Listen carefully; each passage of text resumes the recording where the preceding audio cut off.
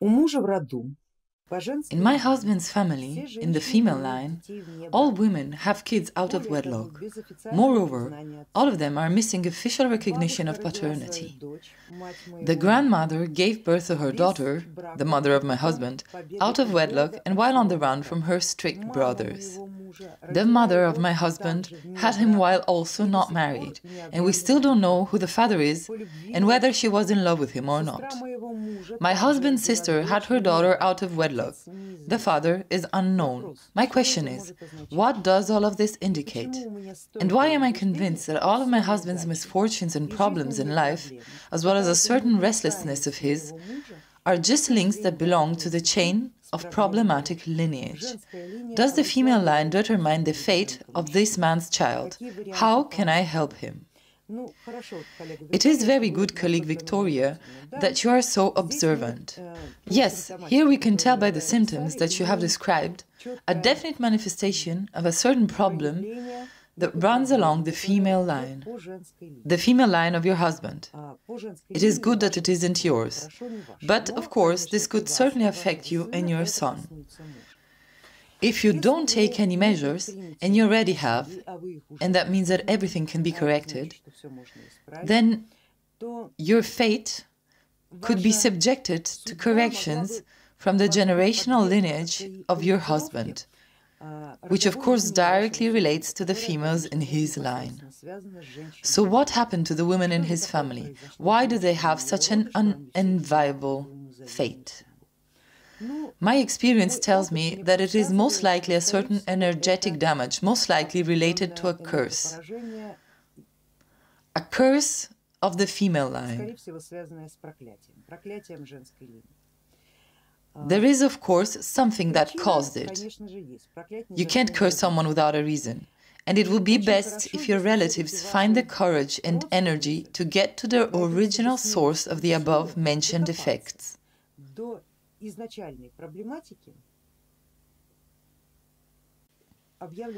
Usually, these things happen when a woman causes harm, undeserved harm, to another woman. Destroys her family, takes the husband out of the family when there are children. That is how the offended woman has a right to curse. It is usually the homewrecker, the other woman, who gets cursed, as well as her kin up to a certain generation, depending on the intensity of the hatred she feels. Usually, it all happens and manifests exactly this way failed family life, illegitimate children, and that is in the best case. Usually, there are bad female ailments or cancer, and let's call it a loss of social status, such as prostitution, addictions, in women, particularly in women. Males, as a rule, are usually not too affected by this. Although it does happen that men in such families especially if they have a weak consciousness raised by such cursed, tortured women, once grown, automatically choose a wife of the same kind. Your husband seems to have managed to avoid this, and that is his great luck, although you do intuitively, and rightfully so, fear for your son. Because, well, good, your husband got lucky with you, but how about your son? There is hope, because if you would have had a girl, I would tell you to start worrying right away. It is a bit easier with a boy, because as you see, the curse does not spread onto the male branch. But there is a vulnerability. There is a certain recessive gene which can perhaps, under certain circumstances, make him choose a woman with a similar fate or similar informational vulnerability, same as the woman in his father's line.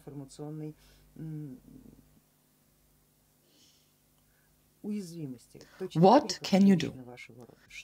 Sit down with your female relatives and get to the information. Figure out what happened in the fourth and the fifth generation to the woman of your husband's family. Let them tell you this story. It is better to know than not to know. By talking about it, the responsibility will be, so to say, redistributed amongst all women, meaning that information won't be concealed any longer. It will come to light and won't be as heavy. And then altogether you can think about what can be done in order to correct it. Each one, of course, according to their own tradition. Christians will turn to prayer, pagans will turn to their forces, settling the issues their ways, such as coming to an agreement on how this all can be redeemed, because a curse, an insult, can be redeemed. Understandably, it's possible that it will remain unknown who specifically should redeem you. But the forces could provide you with clues on what can be done in this world in order to resolve this issue. For example, people plant trees, adopt children from orphanages, start up some sort of animal rescue. There are many things. Sometimes gods give you tasks that have no apparent correlation to the issue. For those who turn to the Christian church, the mechanism is quite simple. Christianity redeems your debt for you. The egregor redeems your debt, releasing you from this karma. But never remember that we'll never do it for free, meaning that eventually it will ask for payment, and the redemption question will be back on the table and its simply will tell you what needs to be done. And the cost will include additional interest, because Christianity is created based on the Judaic matrix. There, nothing is for free. And they too will get their interest, with your time, your fate, your rights, meaning that which is valuable there.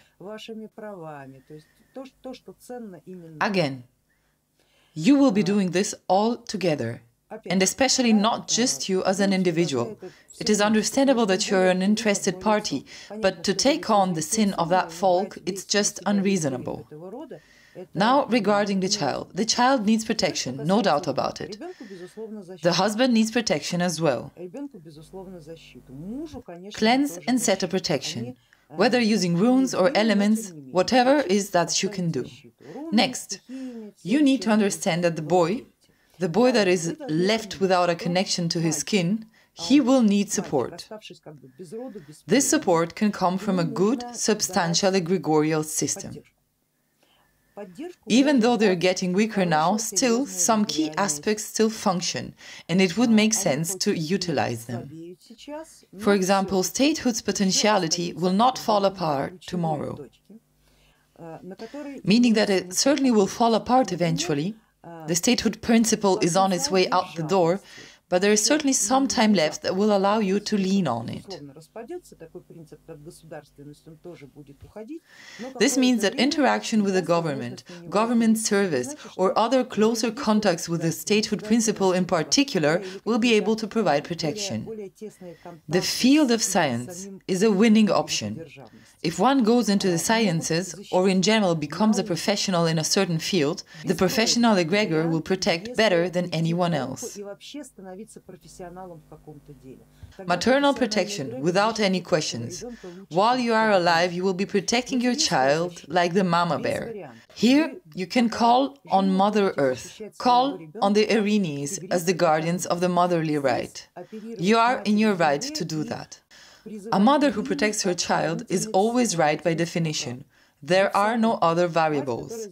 And while he is little, until a certain age, until he is married, for example, or until he swears allegiance to the state, you will always be responsible for him, and hence in your right to protect him. Regarding your husband, here I would actually suggest you protect your husband as well, because he is just as vulnerable, and if it hits him, it will be a legitimate hit. If with your child you're able to protect him on the mother right basis, you won't be able to protect your husband that way, and he will have to do it himself. I will have the same recommendations for him to seek protection from the government egregor or a professional egregor, trying to go for a high degree of professionalism in some field. And that, colleagues, concerns absolutely everyone since the egregorial system is thinning and soon will be just a set of general instruments that you can put to use without any preconditions, you have to understand who is coming to the forefront, who is becoming higher than anyone else, the professional egregor. the professional egregorial level is becoming higher than all others.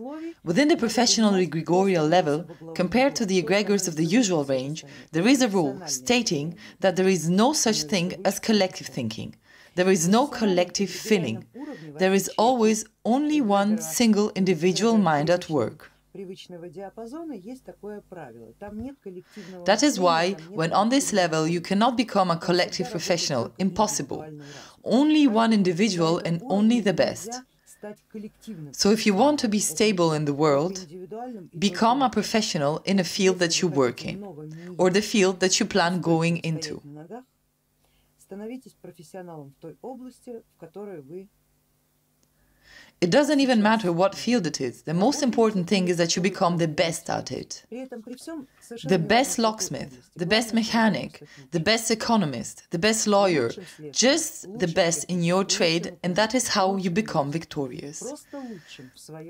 So, with your family problem, colleague Viktoria, I would suggest that you recalibrate your attention towards professionalism in particular and orient your son and your husband in that direction since it happened that way that you are the head of the family and are responsible for them. And of course, get rid of generational negativity. As I already told you, don't carry it all on your shoulders. Get your female relatives to tell their story, to give all the information, all that happened without conceit. Revealed information can be counted as a job half done. The rest are technicalities. Информация проявленная, считайте, что половину проблемы вы уже решили. А дальше уже там дело техники.